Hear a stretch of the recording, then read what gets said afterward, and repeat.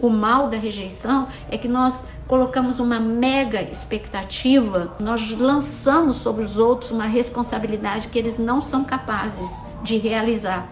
E aí vem uma super frustração.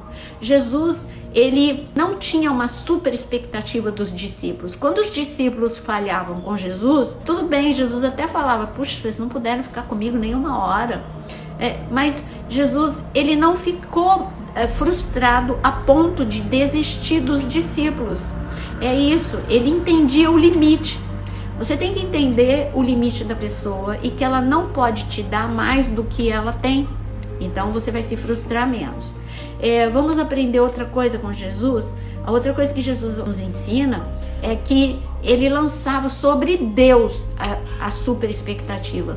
Jesus, então, ele nos ensinou, nós precisamos proteger o nosso coração, as nossas emoções, não deixando um coração aberto é, para todo qualquer tipo de crítica e de ofensa.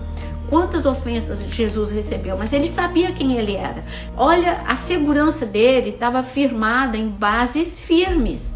Deus nunca nos decepciona. Mas os discípulos sim decepcionariam. Então nós precisamos elaborar melhor as nossas dores, não jogando sobre as pessoas a responsabilidade de suprir aquilo que elas não podem. Para você proteger o seu emocional, você não pode comprar aquilo que não te pertence.